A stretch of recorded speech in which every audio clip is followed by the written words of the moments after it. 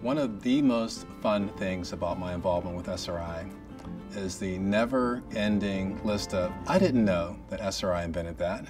I continue to be amazed at the breadth and depth of innovations that are delivered from SRI and the team of amazing technologists that are here, ranging from inventing the mouse, delivering Siri, creating Zylon to go on the Martian Land Rover,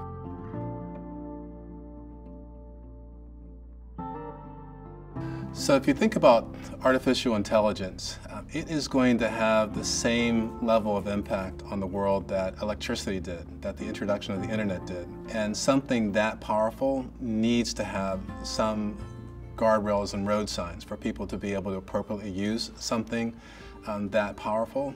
SRI is uniquely positioned um, to have a seat at that table and to help make sure that we get all the benefits of artificial intelligence and suffer as few of the consequences of artificial intelligence as possible.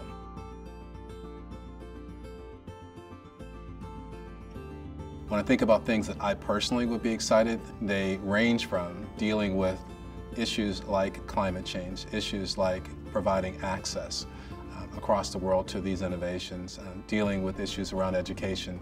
Um, those are the things that really, really um, as my mother would say, blow my hair back.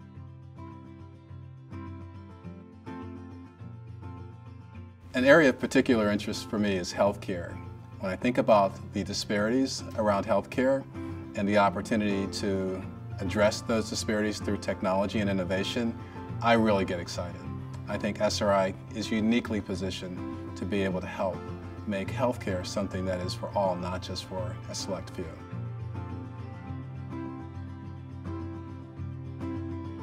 SRI has an amazing assemblage of some of the world's greatest minds tackling problems that range from healthcare to peace and security to education to providing access and an 80-year history and 1,500 plus people who are putting their shoulders against these challenges, it gives me great optimism that we're going to continue to be relevant to delivering world-changing solutions.